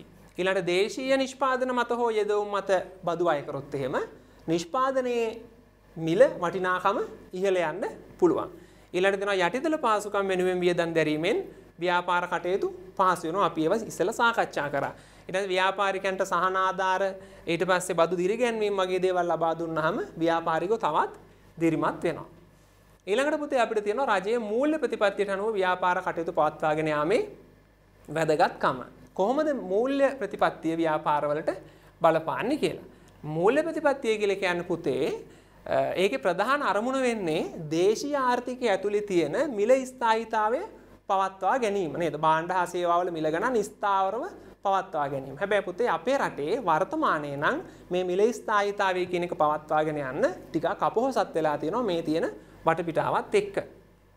ඒ වගේම තමයි රටක මුදල් සැපයුම මුදල් සැපයුම පාලනය කිරීම සඳහා රජය අනුගමනය කරන ප්‍රතිපත්තියක්. අපේ ආර්ථික විද්‍යාව ඉගෙන ගන්න දරුවෝ නම් මුදල් සැපයුම ගැන දීර්ඝව කතා කරයි ඈ. එතකොට මුදල් සැපයුම පාලනය කරන්න තමයි මේ ප්‍රතිපත්තිය අනුගමනය කරන්නේ. රජය වෙනුවෙන් ශ්‍රී ලංකා මහ බැංකුව තමයි ওই ප්‍රතිපත්තිය ක්‍රියාත්මක කරන්නේ. එහෙනම් අපි ආවේ දෙවනි ප්‍රතිපත්තියට මූල්‍ය ප්‍රතිපත්තිය. එතකොට මූල්‍ය ප්‍රතිපත්තිය භාවිතා කිරීමේදී නැත්නම් ක්‍රියාත්මක කිරීමේදී භාවිතා කරන උපකරණ තියෙනවා පුතේ. එතකොට ප්‍රධානම එකක් තමයි ප්‍රතිපත්තිමය පොලි අනුපාත. ඒ පොලි අනුපාත අඩු වැඩි කිරීම තුලින් රටේ ව්‍යාපාරවලට බලපෑම් කරන්න පුළුවන්. අපි දන්නවා අපේ දරුවෝ ප්‍රධාන පොලි අනුපාත වර්ග තුනක් තියෙනවා. නිත්‍ය තැන්පතු පහසුකම් අනුපාතය අපි කෙටියෙන් SDFR කියලා තියෙනවා. Standing Deposit Facility Rate කියන එක. දැන් මේ 2020 මාර්තු මාසයේ තියෙන තොරතුරු තමයි අපි ඇතුළත් කරලා තියෙන්නේ 5.5යි. නිත්‍ය ණය පහසුකම් අනුපාතය SLFR uh, Standing Lending Facility Rate 6.5ක් ඊට පස්සේ බැංකු පොලි අනුපාතය 9.5. Uh, මේ මේ වගේ බලපෑම් ඇති වෙන්නේ කොහොමද කියන එක අපි ඉදිරි වැඩසටහනකදී නැවත සාකච්ඡා කරමු. Uh, ඊළඟ දැන් පළවෙනි එක තමයි අපි කතා කරා පොලි අනුපාතය. එතකොට පොලි අනුපාත වර්ග තුනක් ගැන අපි සාකච්ඡා කරා. ඊළඟ තමයි පුතේ සංචිත අවශ්‍යතා වෙනස් කිරීම. සංචිත අවශ්‍යතා කියන එක මම කෙටියෙන් කිව්වොත් වාණිජ බැංකුවක් තමන්ගේ බැංකුවේ තියෙන තැන්පතු වලින් මහ බැංකුවේ යම් ප්‍රතිශතයක් අරන් තියලා තියන්න ඕන. අන්නේ තියෙන ප්‍රමාණයට තමයි අපි සංචිත අවශ්‍යතා කියලා කියන්නේ. ඒතර වර්තමානයේ 104ක් තමයි සංචිත අවශ්‍යතාවය තියෙන්නේ. ඊට අමතරව පුතේ විවෘත වෙළඳපොළ කටයුතු නේද? සුරකුම්පත්, භාණ්ඩාගාර බිල්පත්, බැඳුම් කර වගේ සුරකුම්පත්, මිලදී ගැනීම, විකිණීම වගේ දේවල් වෙනවා. අන්න ඒකට අපි කියනවා විවෘත වෙළඳපොළ කටයුතු. එහෙනම් ඒ සුරකුම්පත් විකිණීම, මිලදී ගැනීම මගින් ව්‍යාපාරවලට පුළුවන් බලපෑම් ඇති කරන්න. ඊළඟට වට්ටම් අනුපාත, ණය සීමා පැනවීම වගේ උපකරණත් මේ මුදල් සැපයුම පාලනය කිරීම සඳහා බලපානවා. එනම් පුතේ ඔන්න අපි මේ අපේ පාඩමේ කොටස් දෙකක් තියෙන එක කොටසක් ඉවරයි. මේ අවසාන කොටසට එන්නේ මේකත් ඊටාම වැදගත්. අපිට පේනවා පොඩි පත්තරයකින් උපුටගත්ත කොටසක් මම ඔය දාලා තියෙන්නේ පාම් පිටි මිශ්‍ර කරන ලද කහකුඩු තොගයක් පාරිභෝගික කටයුතු පිළිබඳ අධිකාරී අත්අඩංගුවට. නේද? මොකද කරලා තියෙන්නේ? පාම් පිටි වලට කහකුඩු මිශ්‍ර කළාද කහකුඩු වලට පාම් පිටි මිශ්‍ර කළා. දෙකම හොයාගන්න බෑ සමහර වෙලාවට. එනම් පොතේ අපේ නිපුණතා මට්ටම තමයි පාරිභෝගික ආරක්ෂණය සඳහා රජය ගන්නා ක්‍රියාමාර්ගවලට අනුගත වෙමින් ව්‍යාපාර පවත්වාගෙන යාමේ අවශ්‍යතාවය. එතකොට මෙයා මේ මොකද්ද කරලා තියෙන්නේ විසමාචාරයක් බාණ්ඩ බාල කරලා මේ දවස්වල කහ හිඟයක් තියෙනවා ඒ නිසා එයා මොකද කරන්නේ වැඩිපුර ලාභ ගන්න ඕන නිසා පාන් පිරි ටිකකුත් කහවලට එකතු කරලා කහ කියලා විකුණනවා. ඔන්න වලක්වා ගැනීම තමයි මේ වගේ දේවල් වලින් ආරක්ෂා වෙන්න තමයි අපිට පාරිභෝගික ආරක්ෂණය වැදගත් වෙන්නේ. එහෙනම් ඔන්න විස්තරාත්මකව අපිට තියෙනවා පාරිභෝගික ආරක්ෂණය වැදගත් වෙන්න හේතු වෙළඳපොළ තුල භාණ්ඩ හා සේවා බහුල වෙලා තියෙනවා. නේද? විවිධ භාණ්ඩ වර්ග තියෙනවා. තරගකාරීත්වය වැඩි නිසා විසමාචාර වැඩි වෙලා තියෙනවා. නිදහස් වෙළඳාමත් එක්ක වෙළඳපොළ සංකීර්ණ වෙලා තියෙනවා. ගෝලීකරණය නේද ඕනම රටක භාණ්ඩයක් අපිට මිලදී ගන්න පුළුවන් ඕනම රටක භාණ්ඩයක් අපිට ආපහු ඕනම රටකට විකුණන්න පුළුවන් අපේ රටේ භාණ්ඩ ඊළඟට පරිසර දූෂණය වළක්වන්න පරිසර සංරක්ෂණ පනතනේ ඒ වගේ පනත් නීති රීති ක්‍රියාත්මක වෙනවා. ඔන්න වගේ වෙන්න පුළුවන් බලපෑම් අවම කරගන්න තමයි අපිට පාරිභෝගික ආරක්ෂණය වැදගත් වෙන්නේ. එහෙනම් පුතේ පාරිභෝගිකයෝ විදියට අපි ආරක්ෂා වෙන්න නම් අපි දැනගන්න ඕනේ අපිට තියෙන අයිතිවාසිකම් මොනවද කියලා නේද? අපිට තියෙන අයිතිවාසිකම් මොනවද කියලා. එහෙනම් පාරිභෝගිකයෝ විදියට අපිට තියෙන අයිතිවාසිකම් තමයි පාරිභෝගික අයිතිවාසිකම් කියලා කියන්නේ. ඒතර ඔන්න හතරක් තියෙනවා පුතේ. පළවෙනියටම තියෙනවා ආරක්ෂාව සලසා ගැනීමට ඇති අයිතිය. භාණ්ඩ හා සේවා පරිභෝජනයේදී අපි ආරක්ෂා වෙන්න ඕනේ කොහොමද කියන එක ගැන අයිතියක් අපිට තියෙනවා. ඒ වගේම අපි මිලදී ගන්න භාණ්ඩ හා සේවා වලට අදාළ තොරතුරු ලබා ගන්න. මිල කීයද නිෂ්පාදිත දිනය, නිෂ්පාදකයා කවුද? ඒ තොරතුරු ලබා ගන්න අපිට අයිතියක් තියෙනවා. ඒ වගේම තමයි අපි කැමති භාණ්ඩයක් තෝරගන්න අපිට අවස්ථාව අයිතිය තියෙන්න ඕනේ. සවන් යොමු කරවා ගැනීම. මේ අපිට මොන හරි ගැටලුවක් ඇති වුණොත් ඊට අදාළ බලධාරීන්ගේ අවධානය අපි වෙතට ලබා ගැනීමේ අයිතිය අපිට තියෙනවා. හැබැයි පුතේ මෙන්න මේ හතර හඳුන්වලා දීලා තියෙන්නේ කවුද? ඇමරිකාවේ හිටපු ජනාධිපතිවරයෙක් වෙච්ච ජෝන් F කෙනඩි කියන මහත්මයා තමයි ඔය අයිතිවාසිකම් හතර හඳුන්වලා දීලා තියෙන්නේ. ඒවා විභාගෙදි වෙන වෙනම අහනවා. එහෙනම් බලමු තව අයිතිවාසිකම් හතරක් තියෙනවා. මූලික අවශ්‍යතා නේද අපිට ආහාර ඇඳුම් පැළඳුම් වගේ මූලික අවශ්‍යතා ටික ඉටු කරගන්න අපිට අයිතියක් තියෙනවා. ඒ වගේම අපි යම් තැනකදී අපහසුතාවයකටපත් වුණොත් ඊට එරෙහිව වන්දි ලබා ගන්න නේද? අපිට ඒ දරන්න වෙච්ච පිරිවැය ආවරණය කරගන්න අපිට අයිතියක් තියෙනවා. ඊළඟට පාරිභෝගික අධ්‍යාපනය ලබන්න හොඳ පාරිභෝගිකෙක් වෙන්න හොඳ දැනුමක් තියෙන්න ඕනේ. ඒ දැනුම ලබන්න අපිට අයිතියක් තියෙනවා. අපි මේ කරන්නේත් ඒක පුතේ මේ ඕගලන්ට උගන්වලා අපි කරන්නේත් ඕගලන්ගේ පාරිභෝගික අධ්‍යාපනයට තියෙන අයිතිය සලසලා දෙන එක. ඊළඟට සෞඛ්‍යවත් පරිසරය නේද? සෞඛ්‍යවත් පරිසරයක ජීවත් වෙන්න බැරි වටපිටාවල් ලෝකේ ගොඩක් රටවල් වල තියෙනවා. ඒතකොට අපිට අයිතියක් තියෙනවා හොඳ සෞඛ්‍ය සම්පන්න පරිසරයක ජීවත් වෙන්න. එහෙනම් මේ ටික හඳුන්වලා දීලා තියෙන පුතේ පාරිභෝගික ජාත්‍යන්තරයේ CI Consumer International කියලා අපි සාකච්ඡා කරනවා. එහෙනම් මේ තියෙන්නේ පාරිභෝගික අයිතිවාසිකම්. අයිතිවාසිකම් ගන්නවා වගේම අපිට තියෙනවා පුතේ වගකීම්. එහෙනම් මේ වගකීම් ඉටු කරොත් තමයි අපිට අයිතිවාසිකම් ටික දිනා ගන්න පුළුවන් වෙන්නේ. මොනවද වගකීම්? ਵਿਚਾਰාත්මක දැනුවත්භාවය. අද රැයට කියනවා අද මධ්‍යම රාත්‍රී 12 සිට පාම්පිටි කිලෝක මිල රුපියල් 20කින් ඉහළට කියලා. උදේ පාන්දර 6ට අපි කඩේ ගියාම මුදලාලි පාන්ගිරිය රුපියල් 2කින් වැඩි කළා. අපි පාන්ගෙඩි අරගෙන සද්දන කරනවද නැත්තම් අපි මුදලාලිගෙන් අහන්න ඕනිද මුදලාලි රෑදොලහට පිටිමිල වැඩි කරහම ඔයා රෑදොලෙන් පස්සේ පාන් පිටි ගත්ත කඩේ අපිට පොඩ්ඩක් කියන්න පුළුවන් ද කියලා ඇහුවොත් මුදලාලි අර වැඩි කරපු රුපියල් දෙක ආපහු අඩු කරනවා. ඒක තමයි අපි කියන්නේ විචාරාත්මක දැනුවත් භාවය. ඊට පස්සේ සක්‍රිය සහභාගීත්වය හෙවත් ක්‍රියාත්මක වීම අපේ අයිතිවාසිකම් කඩ වෙන තැනක් තිබුණොත් අපි බය නැතුව ඒ වෙනුවෙන් ඉදිරිපත් වෙලා ක්‍රියාත්මක වෙන්න ඕනේ. සමාජය ගැන සැලකිලා නේද? අපි අපේ ගැන වගේම අනිත් පාර්ශව ගැනත් හිතන්න ඕන අපි පරිභෝජන රටාවේදී. පුංචි කාලේ අපිට උගන්වන්නේ පුතේ කෙහෙල් ගෙඩියක් කෑම ලෙල්ල බිම දාන්න එපා කියලා. ඒ අපි සමාජය ගැන දක්වන සැලකිල්ල. ඊට පස්සේ සහයෝගීතාවය. පාරිභෝගික අයිතිවාසිකම් දිනා ගන්න ව්‍යාපාරිකයෝන්ගේ විසමාචාරවලට විරුද්ධ වෙන සාමූහිකව කටයුතු කරන්න ඕන. අපිට පුළුවන් පාරිභෝගික සමිතියක් ඒ වෙනුවෙන් පිහිටුවා ගන්න අපේ ග්‍රාම නිලධාරී කොට්ටාසය තුල. ඊළඟට තියෙනවා පාරිසරික දැනුවත් භාවය. පරිසරයට වන හානි ගැන සැලකිලිමත් වෙන්න ඕන. ව්‍යාපාර මොනවද පරිසරයට හානි කරන්නේ කියලා. එහෙනම් අයිතිවාසිකම් සහ වගකීම් සාකච්ඡා කරලා ඉවර කරා. අවසාන නිපුණතා මට්ටම පාරිභෝගික ආරක්ෂණය සඳහා ක්‍රියාත්මක වන රාජ්‍ය ආයතනවල කාර්යභාරය. තොරදුවේ පුතේ අපිට තියෙන ප්‍රධානම ආයතනය තමයි පාරිභෝගික කටයුතු පිළිබඳ අධිකාරිය. ඒ අධිකාරිය තියෙනවා ඒගොල්ලන්ගේ අරමුණු තියෙනවා. ඒ වගේම ප්‍රමිති ආයතනය තියෙනවා. ඔන්න ඔය ආයතන දෙක තමයි මූලික වශයෙන් වැදගත් වෙන්නේ. ඊට අමතරව පුතේ මිනුම් මේකක ප්‍රමිත සේවා දෙපාර්තමේන්තුව, මධ්‍යම පරිසර අධිකාරිය, ප්‍රාදේශීය සෞඛ්‍ය වෛද්‍ය නිලධාරී කාර්යාලය, ඒ වගේම දිස්ත්‍රික් ලේකම් කාර්යාල වගේ ආයතන වලින් පාරිභෝගික ආරක්ෂණය සඳහා අපිට සහයෝගය දක්වනවා. ඔන්න පාරිභෝගික කටයුතු පිළිබඳ අධිකාරියේ අරමුණු තියෙනවා. මොනවාද පුතේ අරමුණු හතරක් තියෙනවා. පාරිභෝගිකයන්ගේ ජීවිත සහ දේපොළට උපද්‍රවයක් සිදු වන භාණ්ඩ අලවිය හා සේවා සැපීමට එරෙහිව ඔවුන්ව ආරක්ෂා කිරීම. එහෙනම් පාරිභෝගිකයා ආරක්ෂා කරගන්න ඕන භාණ්ඩ හා සේවා සැපීමෙන් වෙන්න පුළුවන් අවාසිදායක තත්ත්වයන්ට එරෙහිව. ඊළඟට අසාධාරණ වෙළඳ පිළිවෙත් වලට විරුද්ධව පාරිභෝගිකයන් ආරක්ෂා කිරීමටත් අයිතිවාසිකම් වලට නිසි සැලකිල්ලක් පාරිභෝගිකයන්ගේ අයිතීන්ට නිසි සැලකිල්ලක් දක්වන්නත් අයිතියක් තියෙන්න ඕනේ. ඊළඟට පුතේ සෑම විටම තරගකාරී මිලට නේද? තරගකාරී මිලට සාධාරණ හොඳ භාණ්ඩ හා සේවා පාරිභෝගිකයන්ට ලබා දෙන්න පාරිභෝගික අධිකාරිය මැදිහත් වෙනවා. ඊළඟට අසාධාරණ හෝ සීමිත වෙළඳ පිළිවෙත් හෝ පාරිභෝගික සූරා කෑම් වලට පාරිභෝගිකයන් නොමග යවන සුළු නේද? වැඩි මිල අය කරන ඒවා, භාණ්ඩ බාල කරන දේවල් වගේ දේවල් වලදී ඒවා ඊම් පාරිභෝගිකයන් ආරක්ෂා කරගන්න අධිකාරිය කටයුතු කරනවා. එහෙනම් ඔන්න අරමුණු හතරයි. එතකොට පුතේ ඔන්න අපි දැන් රාජ්‍ය ආයතන ගැන කතා කරා ව්‍යාපාරවලට රජය දායකත්වයේ දක්වන ඉස්සෙල්ලා අපි කතා කරලා ඉවර කරා පාරිභෝගික අධිකාරිය ගැන ඊළඟට තියෙන පුතේ ප්‍රමිති ආයතනයේ කාර්යභාරය. නම් ප්‍රමිති ආයතනය ගැන කතා කරනකොට ලෝකයේ මුලින්ම ප්‍රමිති ආයතනයක් ආරම්භ වෙන්නේ බ්‍රිතාන්‍යයේ. ඊට පස්සේ තමයි විවිධ රටවල් වල ප්‍රමිති ආයතන ආරම්භ වෙන්නේ. එතකොට මුළු ලෝකයටම පොදුවේ ප්‍රමිති ආයතනයක් තියෙනවා. අපේ දරුවෝ දන්නවා. ජාත්‍යන්තර ප්‍රමිති ආයතන අපි සංකේතවත් කරන්නේ ISO කියලා. එතකොට ඒගොල්ලෝ විවිධ ප්‍රමිතීන් වර්ග හඳුන්වලා දීලා තියෙනවා. අපේ රටේ තියෙන ප්‍රමිතීන් සම්බන්ධයෙන් තියෙන ආයතනය තමයි ශ්‍රී ලංකා ප්‍රමිති ආයතනය. කලින් මේක තිබුණේ පරණ පොත් එහෙම බැලුවොත් අපේ දූල පුතාලා දකිනවා ශ්‍රී ලංකා ප්‍රමිති කාර්යාංශය කියලා. නමුත් දැන් අපි මේක හඳුනන්නේ ශ්‍රී ලංකා ප්‍රමිති ආයතනය කියලා. එහෙනම් මගේ දුවේ පුතේ ඒ ප්‍රමිති ආයතනයේ කාර්යයන් ගැන තමයි අපි ඊළඟට කතා කරන්නේ. ඒතර පළවෙනි එක තියෙනවා ප්‍රමිති පිළියෙල කිරීම. ප්‍රමිති හදන්න ඕනේ මොනවද මේ ප්‍රමිති කියලා. දෙවෙනි එක තමයි ප්‍රමිති ක්‍රියාත්මක කිරීම. අර හදපු ප්‍රමිති ක්‍රියාත්මක කරගෙන යන්න ඕනේ. එහෙම ප්‍රමිති ක්‍රියාත්මක කරන ආකාර කීපයක් තියෙනවා. පළවෙනි එක තමයි ස්වේච්ඡාවෙන් ප්‍රමිති ක්‍රියාත්මක කිරීම සඳහා කටයුතු කරන්න පුළුවන්. ඊට පස්සේ SLS ලාංඡන ක්‍රමය මගින් අපේ දූල පුතාලා දැකලා තියෙනවා භාණ්ඩ හා සේවා මිලදී ගන්නකොට විවිධ වෙළඳ දැන්වීම් වලදී යනවා SLS ලකුණු තිබේදයි බලන්න කියලා නේද?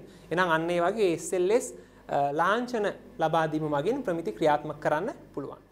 ඊළඟට අපේ රටේ අපි කතා කරා අපේ දේශීය නිෂ්පාදන වෙනත් රටවල් වලට අලෙවි කරන වෙලාවල් තියෙනවා. ඒ වගේම වෙනත් රටවල් වලින් අපේ රටට භාණ්ඩ මිලදී ගන්න වෙලාවල් තියෙනවා. එහෙනම් ඒ අපේ රටේ භාණ්ඩ වෙන රටකට යවන්න කලින් හොඳ ප්‍රමිතියකින් තියනවාද කියලා සහතික කරගන්න ඕන. ඒකට අපි කියන පුතේ పూర్ව අපනයන පරීක්ෂාව අපනයනය කරන්න කලින් පරීක්ෂා කරලා බලන හොඳ ප්‍රමිතියකින් තියනවාද කියලා. ඒකෙම අනිත් පැත්ත අපේ රටට භාණ්ඩ ගේන්න කලින් නේද අපේ රට විදේශ රටකින් භාණ්ඩ මිලදී ගන්න කලින් ආනයනය කරන්න කලින් පරීක්ෂා කරලා බලනවා මේවා හොඳ මට්ටමේ තියනවාද කියලා. එහෙනම් අපි කතා කරේ ප්‍රමිති ක්‍රියාත්මක කරන ආකාර ගැන. එතකොට තුන්වෙනි එක තියෙනවා පුතේ ISO ප්‍රමිති ක්‍රියාත්මක කිරීම. මම මතක් කරා ලෝකයේ සියලුම රටවල් වලට බොහෝ රටවල් වලට පොදුවේ ප්‍රමිති ආයතනයක් තියෙනවා කියලා ජාත්‍යන්තර ප්‍රමිති ආයතනය. එහෙනම් අන්නේ ජාත්‍යන්තර ප්‍රමිති ආයතනයෙන් හදලා තියෙන විවිධ ප්‍රමිති දේශීයව නැත්නම් ලංකාව තුල ක්‍රියාත්මක කිරීම කරන්නේ ශ්‍රී ලංකා ප්‍රමිති ආයතනය. ඒතර ඒක තව කාර්යභාරයක්. ඊළඟ එක තමයි ප්‍රමිතිකරණය සහ තත්ත්ව පාලනය පිළිබඳ පුහුණු පාඨමාලා පැවැත්වීම. ඒතර කොහොමද තමන්ගේ ව්‍යාපාරයේ ප්‍රමිතියකට පවත්වා ගන්නෙ? මොකද්ද ප්‍රමිතියක් කියලා කියන්නේ? කොහොමද ප්‍රමිතිත් එක්ක වැඩ කරන්නේ කියන එක ගැන ව්‍යාපාරිකයන්ට සහ ඒ පිළිබඳ අවශ්‍යතාවයක් උනන්දුවක් තියෙන ඕනම කෙනෙකුට දැනුම දෙන්න විවිධ පාඨමාලා පවත්වාගෙන යනවා. එහෙනම් පුතේ කරුණු හතරයි. ඊට පස්සේ ප්‍රමිතිකරණය හා තත්ත්ව පාලනය පිළිබඳව ප්‍රවර්ධනය කිරීම. ප්‍රමිතිකරණය හා තත්ත්ව පාලනය ප්‍රවර්ධනය කිරීම. ප්‍රවර්ධනය කරනවා කියලා කියන්නේ ව්‍යාපාරිකයෝ අතර වෙන්න පුළුවන්, ජනතාව අතර වෙන්න පුළුවන් නේද පාරිභෝගිකයෝ අතර මේ ප්‍රමිතිකරණය තත්ත්ව පාලනය පිළිබඳව දැනුවත් කරන්න ඕනේ. මෙහෙම දේවල් රටේ තියෙනවා කියලා. ඊළඟට උපකරණ ක්‍රමාංකනය. අපි දන්නවා දැන් පොඩි කාලේ නේද? අපි හරි ආස විෂයක්නේ විද්‍යාව. ඒවයි තිබුණ අර විවිධ උපකරණ පරීක්ෂණාගාරයේ තියෙන විවිධ උපකරණ. ඒවා ක්‍රමාංකනය කරලා තියෙන්නේ. ඊට පස්සේ ඔය විදුලි බල්බ වල බල ශක්ති කාර්යක්ෂමතාවය එහෙම සඳහන් කරලා තියෙන්නේ. විවිධ මිනුම් වල ඒ ප්‍රමිති ආයතනය විසින්. නැත්තම් එක කඩයකින් බල්බ් එක ගන්නකොට එක එළියකුත් තව කඩයකින් ගත්තාම තව එළියකුත් වෙන්න පුළුවන් ඒ නිසා ඒ වෝල්ටීයතාවය එහෙම ලකුණු කරන ඒවා උපකරණ ක්‍රමාංකනය කරන එක තරාදිනේ දේව ක්‍රමාංකනය කරන්නේ ප්‍රමිති ආයතනය. ඊළඟ තමයි පාරිභෝගික අධ්‍යාපනය ප්‍රචලිත කිරීම. පාරිභෝගිකයන්ගේ අධ්‍යාපනය මිනිස්සුන්ගේ දැනුවත් භාවය සඳහා විවිධ වැඩසටහන් විවිධ ක්‍රියාමාර්ග ගන්න එකත් ප්‍රමිති ආයතන එක කාර්යභාරයක්. ඊළඟට පුතේ අපි දන්න ඕනම ආයතනයක කාර්යයක් ඇහුවොත් මෙන්න මේ කාර්යය ලියන්න පුළුවන්. මොනවාද? තමන්ගේ ආයතනය ගැන පුස්තකාල සේවා පවත්වාගෙන යාම. එහෙනම් ප්‍රමිති ආයතනය ගැන ප්‍රමිති ගැන ඕනෑම තොරතුරක් ලබා ගන්න පුස්තකාල සේවාවක් පවත්වාගෙන යනවා. ඒක භෞතිකවත් පුළුවන්. නැත්නම් අපිට අන්තර්ජාලය හරහා ගිහිල්ලා ඒ තොරතුරු ටික ලබා ගන්න පුළුවන්. එහෙනම් දුවේ පුතේ ඔන්න අපි දැන් සාකච්ඡා කරලා ඉවර කරේ ශ්‍රී ලංකාවේ රජය ව්‍යාපාරවලට බලපෑම් කිරීම සඳහා ක්‍රියාත්මක වන විවිධ ආයතන වලින් මම කිව්වා ප්‍රධානම ආයතන දෙකක් තියෙනවා කියලා. පාරිභෝගික කටයුතු පිළිබඳ අධිකාරියත් ශ්‍රී ලංකා ප්‍රමිති ආයතනයත්. ඒ වගේම පුතේ මේ පාරිභෝගික අධිකාරිය කියන එක පටන් ගන්න 2003 ඒ පාරිභෝගික අධිකාරිය පනත ක්‍රියාත්මක වෙන්න කලින් අපේ රටේ තිබුණේ පාරිභෝගික ආරක්ෂණ පනත කියලා එකක්. ඒ පනතත් එක්ක තව පනත් දෙකක් අහෝසි වුණා. අපේ දූල පුතාට සමහර විට මතක ඇති පාස් පේපර් ප්‍රශ්නවල අහලා තියෙනවා. ඉදිරියේදීත් අහන්න පුළුවන් මොනවද අයින් වෙච්ච පනත් තුන?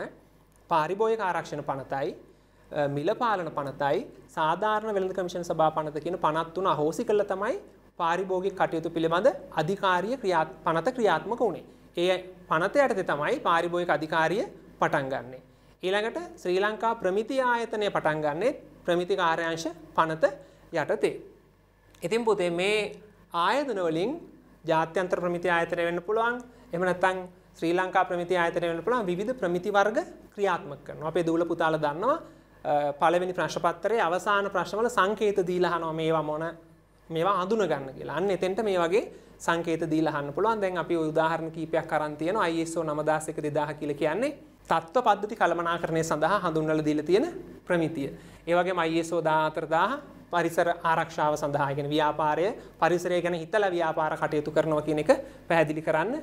එතකොට HACCP නේද අපි උපද්‍රව විශ්ලේෂණ තාර්කික පාලන ලක්ෂය කියලා අපි කතා කරනවා නිෂ්පාදනයේදී ආහාර ද්‍රව්‍යවල සුරක්ෂිතතාවය තහවුරු කිරීම සඳහා තමයි ඒක හඳුන්වලා දීලා තියෙන්නේ ඊට පස්සේ GMP good manufacturing practices යහපත් නිෂ්පාදන පුරුදු ඒ සහතික තමයි දීලා තියෙන්නේ. ඉතින් පුතේ මීට අමතරව තව විවිධ ප්‍රමිති වර්ග තියෙනවා අපේ දූල පුතාලට කතා කරන්න. එහෙනම් ඔන්න අපි අපේ පාඩමේ නිපුණතා මට්ටම් 6ම ගැන සාකච්ඡා කරලා අවසන් කරන්න.